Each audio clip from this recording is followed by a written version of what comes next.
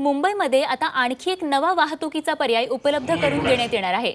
भाऊचा धक्का ते मांडवा पर्याय हा रोरो सेवा सुरू करण्यात येणार आहे.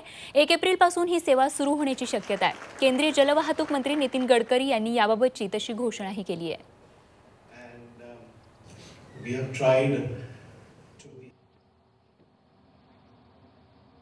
Um, रो रो सर्विस शुरू कर रहे हैं।